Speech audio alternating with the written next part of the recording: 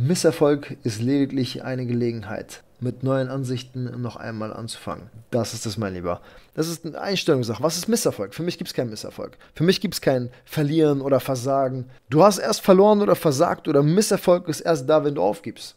Für mich ist es eine Frage des Aufgebens. Aufgeben ist für mich keine, keine Alternative. Auf, aufgeben ist für mich keine Option. Wenn du aufgibst, hast du schon von Anfang an verloren gehabt. Darum ist es egal, was wir tun egal in welcher Perspektive, sei es als Kampfsportler, sei es, sei es im Business, sei es im Privatleben, sei es egal, was es ist. Wenn man überzeugt von einer Sache ist, dann hat man nicht aufzugeben. Man braucht eine Sache gar nicht zu beginnen, wenn, wenn dieser Gedanke schon im Kopf ist, oh, ich, ich könnte aufgeben, ja, dann fangt das erst gar nicht an. Wozu?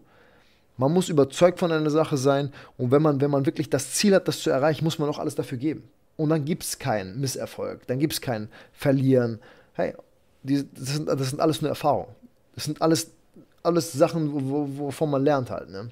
Und darum, für mich ist der Fokus eher darin, nicht aufzugeben.